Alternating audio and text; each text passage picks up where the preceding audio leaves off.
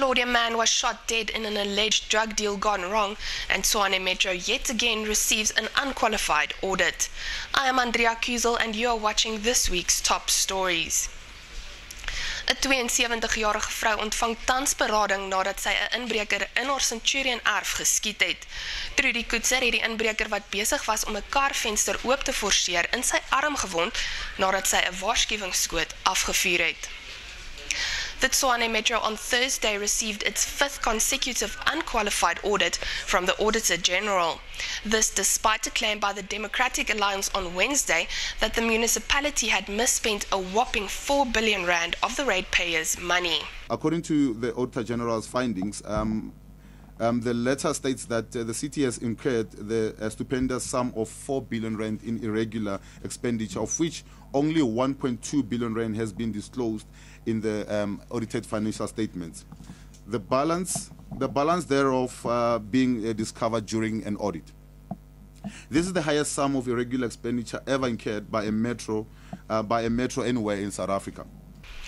An alleged mafioso from Laudium was killed and another man injured during a shootout in Boksburg. Ziad Janu gained popularity after featuring in a viral video Chikilamba.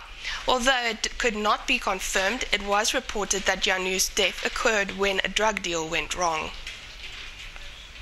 Groot dele van die moed was Dinsdag sonder elektrisiteit nadat 'n kragboks in Queenswood ontplof het. 'n Brandweerman wat besig was om die vlamme te blus, is op die toneel deur 'n voertuig geraak gery. Hy het ligte beserings opgedoen en is reeds uit die hospitaal ontslaan. Centurion residents are yet again faced with deteriorating infrastructure, this time a badly damaged road in Bronberg.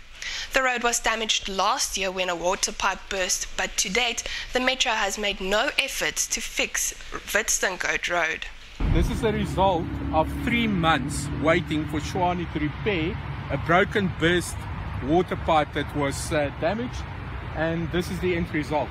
This matter, what you see here, happened on the 16th of October. The matter has been escalated and reported by me as a councillor and various other councillors and numerous times. You can see the vehicles, the cars here, how they have to stop in the road.